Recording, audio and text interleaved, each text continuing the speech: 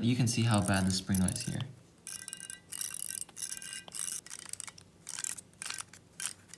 Yeah, so that's definitely what we don't want. What is up guys? So, today, we're to be taking a look at arguably one of the best cubes on the market, which is the RS3 2020 edition. And this cube has had a bunch of attention because it's only $9, it's magnetic, and it has a special tensioning system, but it does come with spring noise, and the way you fix spring noise is through silicone lubricants, and I'll go ahead and show you guys not only how to fix spring noise on your puzzle, but also how I set up my RS3M. I'm gonna actually use a combination of Lunar and Martian in this video, but if you like your cube a little bit faster, then you can go with Lunar. If you like it a little bit slower, I recommend Martian. I don't recommend anything like Galaxy or anything slower than Martian, um, just because it makes the cube really, really sluggish. So we're gonna switch to tripod mode, and then I'm gonna show you guys how to install the magnets and fix spring noise. So let's get right into it. Alrighty guys, so these are the materials that I will be using to set up my RS3M. We have the extra magnet pack that you can get for like a dollar extra at speedcubeshop.com. Um, we have our silicone lube, so it's a silicone lubricant. It doesn't have to be weight one, it can be weight two, weight three, it can be any weight, honestly. But you just have to make sure it's a silicone lubricant. And then I have Lunar, Martian, and then of course the RS3M. Fixing spring noise doesn't just make the noise go away. It also lubes the puzzle. That's how you lube the core of the puzzle. So this is the spring noise before, and we're gonna show you guys how to fix that. Let's go ahead and break down this puzzle. Um, a lot of people, if, if you um, have not cubed before, you it may look like I'm completely breaking the puzzle.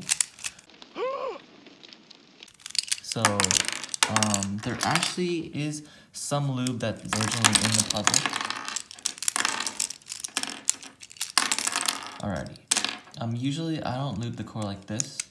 So what I do is I just take all the pieces and let's put the core right here on the towel. And yeah, prepare to get your hands a little bit greasy. Okay, but the first thing I want to do is I want to take all the edges. And the edges are these pieces, which there's only two colors on. So you want to take all those there should be 12 edges in total, and there should be 8 corners. So basically, you can just take out the corners, and here are the edges. What we're to do with the edges is we're to add extra magnets here. So we're to increase the magnet strength, and let's see, hopefully that feels a little bit better and more stable, because a lot of people think the magnet strength is quite low. Alrighty, so we're just to take any edge, and you're just to go ahead and pry it open like this. It should come out pretty darn easily. We're gonna see there's one magnet right there and one magnet right here. So you're just gonna go ahead and lay it there. And you're gonna take one magnet and you're just gonna place it right there and it will just automatically magnetize to the magnet that's already glued in and it will just set itself there. So all you have to do is just place it in that area and then you can just close up the cube, um, put this bottom thing back on and that is one edge that is finished. So we're just gonna put that there. And I guess here's a time lapse of me doing the rest. Ah, uh, baby, come back. Alrighty, so it's just the perfect amount of magnets, so you'll be left with an empty bag. And we'll have all the edges here. So let's go ahead and assemble the puzzle back together. Hey, yo, Charles. Drop it on me.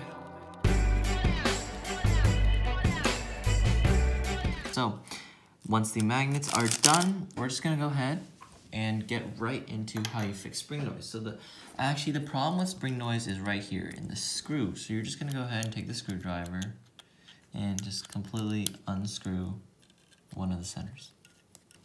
And once that is done, you have the spring, you have the screw itself, and then you have the dual adjustment system, and then you have down there the metal ring, which is the washer, and you can see you can take this out, which is sort of a pretty cool shot. Okay, yeah, there's what the washer is, with the dual adjustment system, and then you have the washer. So, what you want to do, you don't want to get carried away with this, you want to um, keep the washer in there, And you keep the um, dual adjustment system actually in there as well.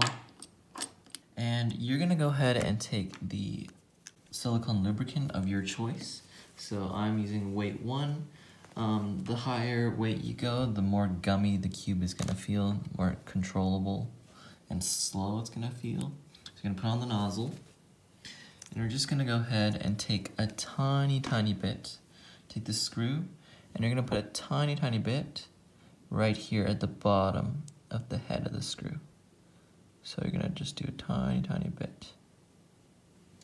And then you take the spring and you're gonna put that there and do a tiny bit right here on the edge of the spring. And finally, just put a tiny, tiny bit where the washer is on the puzzle. I don't know if you can see a little bit towards the bottom left. Just gonna put a tiny bit and then you're just gonna stick the screw back in the puzzle and screw it back in. But yeah, as you can see, the spring noise is gone. Alrighty, so white side is done. Let's just take off all the center caps. We're gonna go ahead and do one more example on, let's do, let's just do yellow side. So all you're gonna do is you're gonna take the screwdriver, your hands may get a, little bit greasy with the lube. Take the screw and the spring out. You're just gonna take it and you're gonna take some of your silicone lubricant and just put a little bit right here. Then you're gonna take the spring back on and you're gonna take some of the lubricant and you're gonna put it right here on the edge of the spring as well. And then just put that to the side and a little tiny bit in the core. So I don't know if you can see that. And then you're just gonna stick the spring back inside the puzzle and you're just gonna go ahead and screw it back in. So yeah, that is two sides done, pretty much. As you can see, I can still hear some spring noise, right? Which either means I didn't put enough lube or it has to be broken in. So you just turn it a little bit and then there's still spring noise. Then you can add some more lube. And as you can see, the spring noise is gone because the lube has sort of been broken in. Alrighty guys, so we are done. Make sure to take off the nozzle of your silicone lubricant and make sure to replace it with the little black thing they give you. So we have the cube here and with the weight one in, it feels a tad bit smoother and honestly doesn't really change the way the cube feels the only last thing to do is to make the puzzle a tad bit smoother, and that's with these lubricants right here. We're gonna add like two drops of Martian, and we're gonna go ahead and see how that feels. So you're just gonna unscrew the Martian, you're gonna turn a little bit here, and then turn a little bit down. You're just gonna hold that hole there. That's the way I do it, and then you're just gonna drop one and two drops of Martian. And just go ahead and break it in. Okay, so immediately I can feel the cube getting smoother. Yeah, it's definitely a lot smoother and softer. And usually I like to do two at a time, so then I'll do another two. I wouldn't go beyond four drops of Martian in the RS3M, um, because then it may get quite gummy.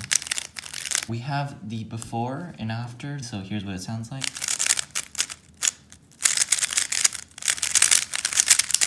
So yeah, pretty darn clacky. So much more softer, quieter, and just overall more controllable feel. It's still quite fast, which is what I like, but it's it's definitely more controllable than this. Quite sandy and clacky. This is just, it's a little bit more moist.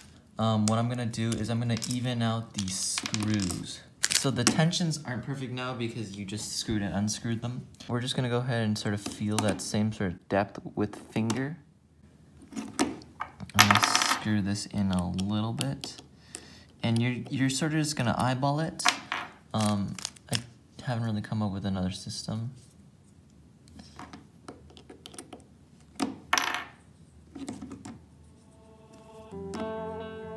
This one's definitely a bit loose.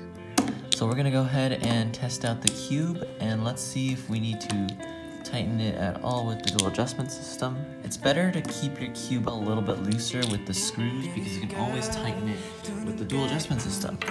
If you want speed, pretty decent speed and a pretty good amount of control, then I would recommend this setup. So I hope you guys enjoyed and I hope this video was helpful. And yeah, I guess I'll see you guys next time on Boss Bassoon.